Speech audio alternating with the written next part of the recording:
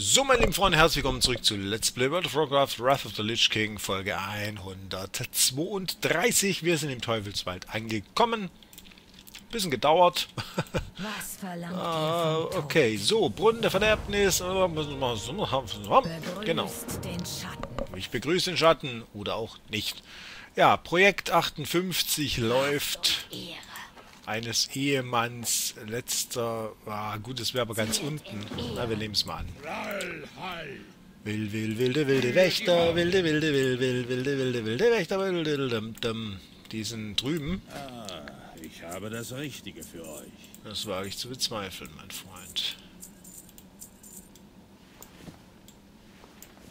Gleich so ein Magazin, so Tauren Damen mit deck, dicken Ärschen. Dann, oh, er hat doch das Richtige für mich. Hui.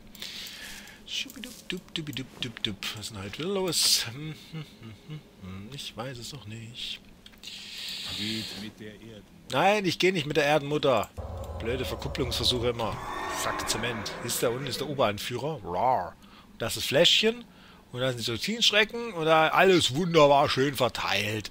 Dass man ja nicht nahe zusammen agieren kann. Aber wir haben ja einen Gaul. Hurra. Zum Glück. Na? Also. Sollen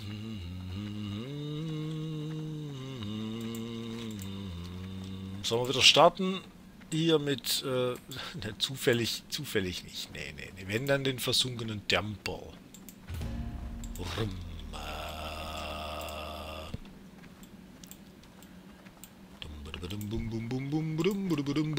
Wir gehen erstmal nach oben. Vielleicht haben wir auch Glück und haben da oben äh, dann noch so Dingens. Also, na? Wisst ihr Bescheid. Oder auch nicht. Nee, da hier, ne? Dass da heute nicht gefarmt wird. Wäre mal schön.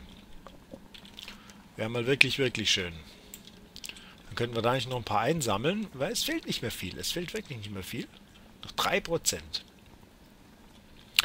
Und dann, äh, wie gesagt, kommt natürlich drauf an. Wir hätten Silitus. Ähm, wir, ich meine, Winterquell ja, ist jetzt nicht mehr so viel. Wir müssen sowieso runter nach Tanaris und nach Ungoro zum Verschrecken. Ähm, Gasrilla wollten wir auch noch einen Arsch versohlen. Also, ja, gibt noch ein bisschen was zu tun. Ja. Wie gesagt, Geld also, äh, also Gold, also wenn einer von euch, äh, was weiß ich, auf diesem Server schon 3 Milliarden Twinks hat, zum Beispiel, und gar nicht mehr weiß, wohin mit seinem Gold, ähm, dann darf er gerne äh, 1k Gold spenden. Weil, wie gesagt, im Moment, hier 1k ist zwar okay, aber ähm, ich möchte dann schon gerne äh, das ein bisschen aufheben fürs Fliegen. Ja, also ich möchte das jetzt nicht verbraten für die duale Talentverteilung. Sollte aber jetzt nochmal ein K zusammenkommen, dann äh, werde ich die duale Talentverteilung äh, besorgen. Was natürlich äh, den Vorteil hätte, dass wir A relativ zügig leveln könnten und B dann doch äh, den ein oder anderen Dungeon schneller besuchen, zum Beispiel als Heiler. Ja, wir müssten dann nicht mehr so ewig warten. Aber wie gesagt, nur wenn jetzt jemand, was weiß ich, schon sein Twink Nummer 8, 9 oder was weiß ich was äh, zusammensucht und sowieso gar nicht mehr weiß, wohin mit dem Gold, dann darf er gerne was rüber wachsen lassen. Denn als Heiler zu leveln, äh, eher weniger. Ich kann diesen Zauber noch nicht wirken.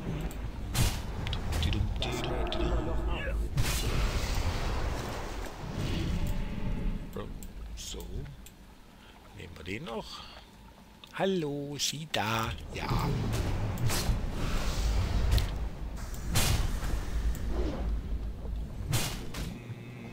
Noch 2%. Huch, du hast ja gar kein Tröpfchen dabei gehabt, mein Freund. Ja, wie geht's denn?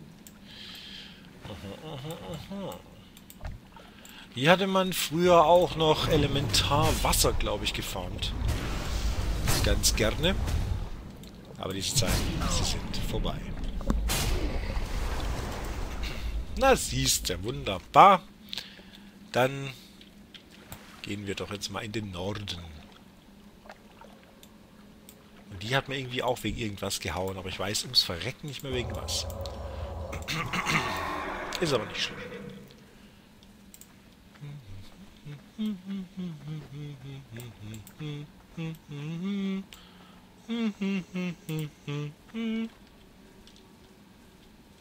Ein Prozent noch. Ja, also. Das schaffen wir bei den äh, Schlundis hinten, also bei den Anti-Schlundis. Vorausgesetzt, es sind welche da. Fidiralalalala. Salfa, no, das ist ja praktisch, da können wir dann gleich durch und da unten müssen wir auch hin abliefern, also es fügt sich zusammen. Wenn wir dann wieder drüben sind, können wir wieder rüberfliegen und hier unten noch ein bisschen was oder da, ich weiß gar nicht, habe ich ja erst Marktdrehflug habe ich glaube ich auch schon den Flugpunkt. Ich glaube, ich habe sie alle geholt. Ja, müsste eigentlich. Wie sieht's hier aus? Na, wie üblich, drei DDs, äh, kein Heiler, kein Tank. Schön Dank. Frank, Ich habe in den Schutzbaum schon ewig nicht mehr reingeguckt, zum Beispiel. Schild des Rächers, ja, also das war... Hier, die Dinger da unten, das kenne ich alles noch gar nicht, weil ähm, Paladin habe ich äh, zu Zeiten von Lich King äh, nur mal als Heiler gespielt, eine Zeit lang. Und nicht als Tank. Ah, hallo, liebe Freunde. Fremde oder Freunde. Hallo zusammen. Schön, dass heute welche da sind. Vielleicht kriegen wir es sogar noch auf neutral, aber naja, gucken wir mal. Wir trinken zwischendrin mal so ein Tränkchen, anstatt es zu heilen, sonst äh, wären wir die sowieso nie los. Und manchmal heilen wir uns auch gerade nichts trinken können. Und wir brauchen mal neue Ausrüstung. Ich merke das schon, weil wir ziemlich Schaden fressen. Ja, also wir haben teilweise immer noch 40 Ausrüstung an. Und das macht sich jetzt langsam schon bemerkbar. Aber wie gesagt, ich wollte jetzt eigentlich ungern nochmal frische Ausrüstung besorgen. Weil wir können mal gucken, was wir noch im, was wir noch im Dingens haben. Habe ich hier gebufft? Ne, habe ich nicht, siehst du mal. Ähm, wie gesagt, wenn es da drüben ist, dann sehe ich die Hälfte nie. Immer nie. ähm, was ist denn mit dem Totem, das wir gerade eingesammelt haben? Lass mal schauen. Ist, reicht da unfreundlich dafür?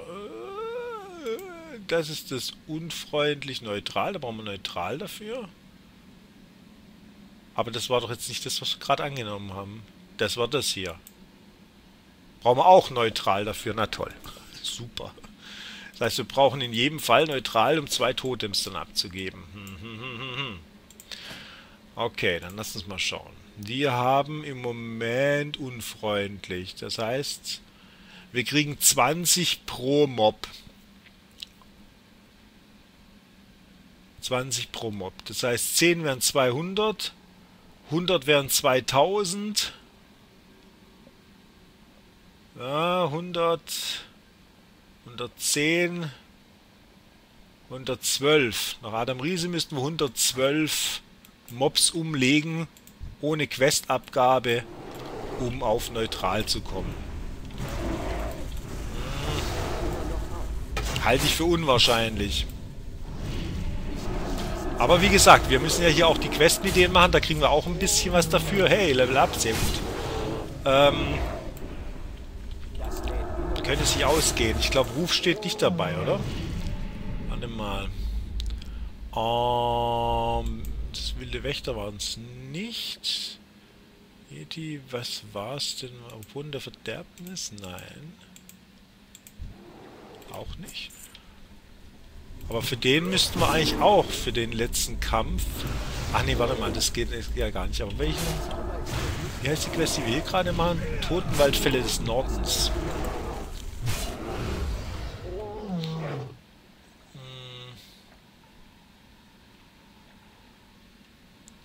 Sind die?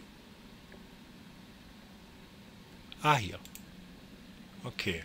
Aktivität der Winterfälle haben wir auch abgeschlossen. Dafür müssten wir auch Ruf bekommen. Und dafür könnten wir dann auch, also müssten wir auch Ruf bekommen. Das heißt, naja, wir, wir schauen mal. Bin, bin gespannt. Wir schließen es ab, dann geben wir beide ab. Wenn wir dann jeweils so 500 oder vielleicht sogar 1000 Ruf oder so bekommen, ja, wobei, das ist eher unwahrscheinlich. 1000 Ruf, Vermutlich nicht. Aber okay, gut. Gut. Ah, oh, wir haben noch drei unverteilte Talentpunkte. Alter Falter, siehst du mal. Ja. okay. Das äh, spielt natürlich auch äh, rein. Ähm, gut, Angriffskraftverringerung ist immer gut. Von daher da mal. Und dann schnappen wir uns jetzt natürlich den Kreuzfahrerstoß. Ne, Zauberland Kreuzfahrerstoß. Sodle. Ähm, den nehmen wir hier auf die 1 und dann tun wir das Siegel hier hoch. Das bleibt ja immer eine Weile. Sehr gut. Ähm, wenn das Licht das Zauber macht, dann wird es so Angriffskraft entspricht. Mhm. Das finde ich nicht schlecht. 10% noch Angriffskraft, okay. Damit kann man arbeiten. Habe ich? Ja, da habe ich alle verteilt. So. Gut. Ja, skillen sollte man natürlich auch. Ne? Das ist immer gut wenn man das nicht vergisst. Was machen wir denn jetzt hier? 129,4. 129,4. Ja, das sind wirklich viel. So, hier, Wutschi Wutsch. Oh, hier, Wutschi Wutsch. Hier, auf die 1. Ah, das sieht doch schon anders aus. Ne? Das sieht doch schon anders aus. Zack. Sehr schön. Ja, der ist gut. Also Kreuzfahrstoß ist gut. Den kann man auch schön, äh, den kann man auch schön in, in, in den Dingens einbauen, hier in Makros. Zum Beispiel eben Kreuzfahrerstoß und dann Richturteil. Dass er quasi immer den Kreuzfahrstoß raushaut, wenn er aktiv ist und ansonsten das Richturteil. Kann man mal machen. Erholt sind wir, wenn ich das richtig sehe, das komplette Level. Also zumindest sehe ich keine sichtbare Unterteilung. Das ist gut. Oh, Häuptling Dingens. Hm. Ob der uns was gibt? Ich glaube nicht. Achso, ich vergesse immer hier zu drücken. Das ist noch sehr ungewohnt. Also... Ja, ja, ja. Was haben wir da? Willens... Na na besser als... Ne, aber Beweglichkeit finde ich jetzt fast noch ein bisschen besser. Noch ein Beweglichkeitsteil rein. Gut, dann äh, Jump Up, Baby. Mal schauen, ob uns was gibt, dem Mute. Vielleicht ein Quest-Starter oder sowas. Wäre ja nicht verkehrt, denn das ist Wow, also, also mit dem Kreuzfahrstoß, das äh, ist deutlich äh, schneller. Sehr deutlich. Nein, hat uns nichts gegeben. Aber hat äh, den Ruf um 60 erhöht. Also der war dreimal so viel wert. Gut. Da brauchen wir den brauchen wir nicht mehr. Da brauchen wir noch zwei davon. Ich verbinde mich mal. Man muss die Verbände ja auch mal aufbrauchen. Ja, immer so. Na, ich mache Verbände, auch wenn ich mich selber heilen kann, weil äh, man kann eben durchaus mal in die Situation geraten, dass man sich heilen müsste und kein Mana mehr hat. Und wie man da zur Not eben noch einen Verband hat, why not? Why not? So, du komm mal her da. Und von denen brauchen wir dann auch noch zwei von den Rächern. Sehr schön, sehr, sehr schön.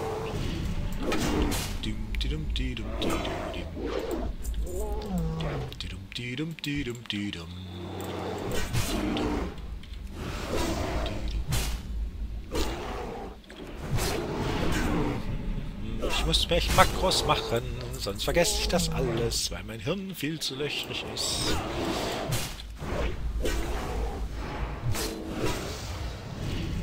Sehr schön, Aufgabe abgeschlossen. So mag ich das doch. So mag ich das doch. Perfekter Mundo. Nein, ich will kein Echtsilber mehr. Ich habe Echtsilber ohne Ende. Ich kann damit handeln, so viel Echtsilber habe ich. So, was sagt unser Ruf? Unser Ruf sagt 1125. Okay. Na, das, ähm, ja. Jetzt Daumen drücken, dass wir durch die Quest-Abgabis ähm, viel Ruf bekommen. Dann äh, können wir eventuell gleich die zwei Totems abgeben, die wir gefunden haben. Was die Sache nochmal beschleunigt, logischerweise. So. Bum, bum, bum, bum.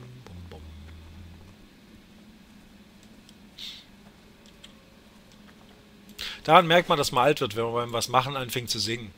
das hat mein alter auch immer gemacht. Ist, naja. So.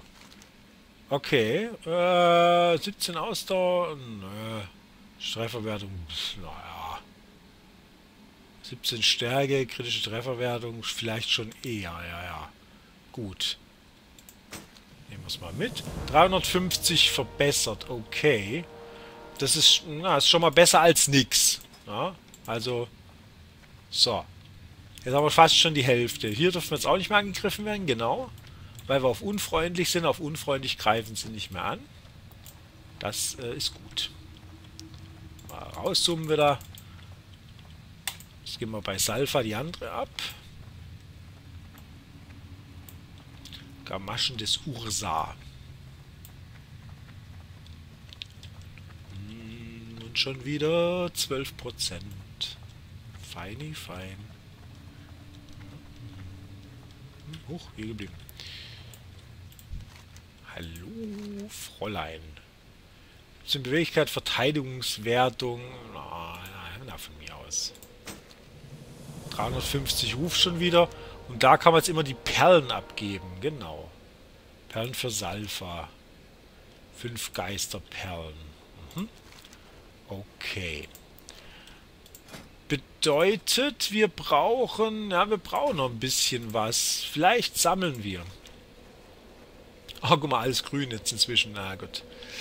Na gut, aber die sonderbaren Quellen, äh, Toxinschrecken gehen wir auch kurz ab noch. Und dann hauen wir in der Tat mal so ein paar so ein paar Schlundis, weil ich wissen möchte, wie viel Ruf geben fünf Perlen.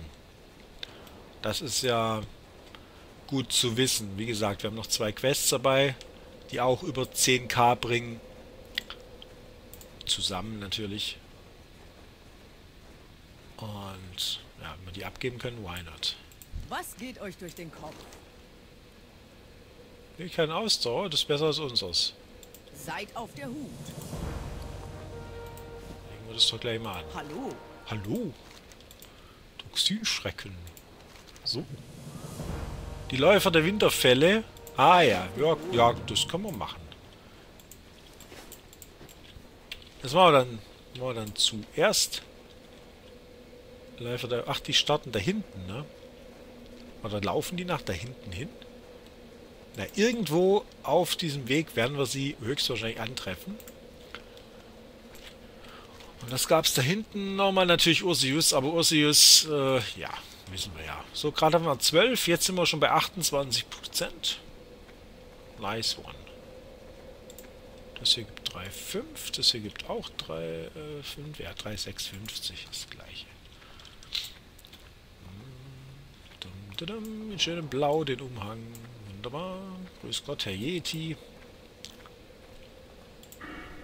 Okay, gibt's hier? Göttlicher Sturm, göttlicher Sturm. Nicht verkehrt. Nicht verkehrt. Schon wieder rangezoomt. Was soll das? Hören Sie mal auf damit. Ah, die 20 Minuten haben wir auch schon fast wieder voll. Naja, ich sollte heute Nacht noch rendern wahrscheinlich. Ich glaube nämlich, die Folgen sind aufgebraucht. Im Moment werden die Folgen schneller aufgebraucht, als ich sie produziere. Das ist nicht so pralle. Na? Ja, wahrscheinlich sind sie ganz, ganz hinten. Oder ganz, ganz vorne. Aber wir haben sie beim Herreiten nicht getroffen, also eher ganz, ganz hinten.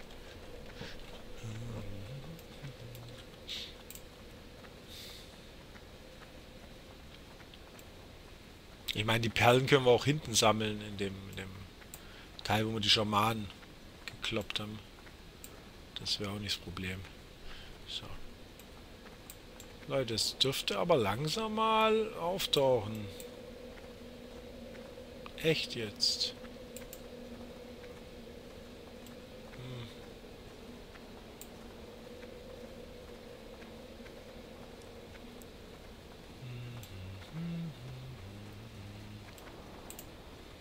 Tja, wahrscheinlich haben wir sie doch verpasst.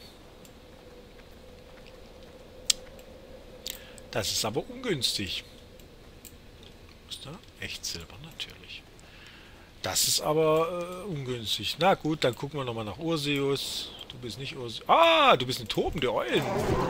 Eulenhutze. Na dann. Hab ich noch? Ich muss echt meine Buff-Anzeige verändern. Äh, ja, so ist besser. Dankeschön. Ich muss einfach eine bessere Übersicht haben. Das ist, muss er sehen, was ich habe. Gur, gur.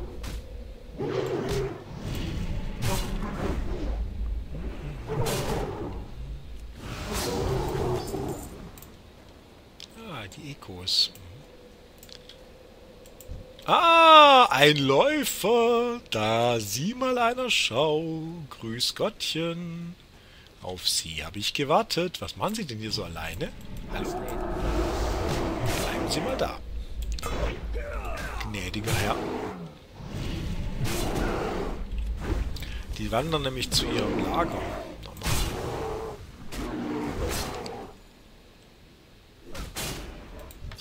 Ja, sehr schön. Und ein Echo und Runenstoff. Hm.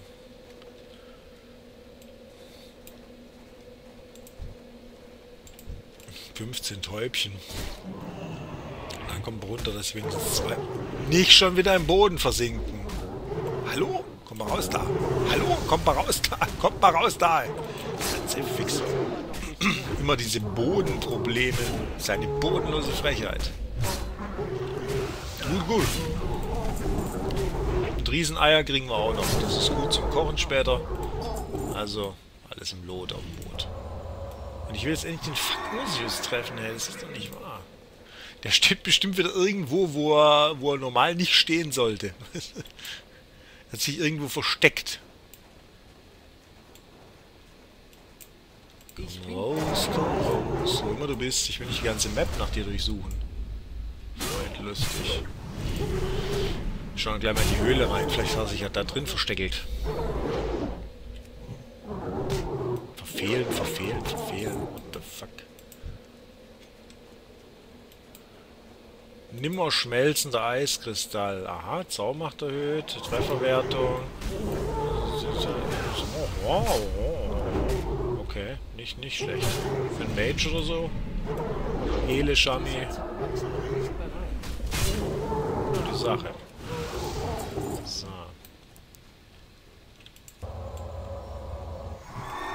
Oh, wir sind schon wieder bei 23 Minuten, alter Falter. Also wir looken jetzt mal geschwind dahin und hauen mal kurz noch diese zwei, drei Eulenbestien um. Danach äh, beenden wir die Folge mal. Und machen uns in der nächsten Folge auf die Suche nach Ursius, auf die Suche nach ein paar Perlen für Ruf. Und natürlich nach Level 57, das ist ja klar. Wir wollen ja endlich nach BC. So. Gut. Dann bedanke ich mich mal fürs Zuschauen. Bis zum nächsten Mal. Macht's gut und ciao, ciao.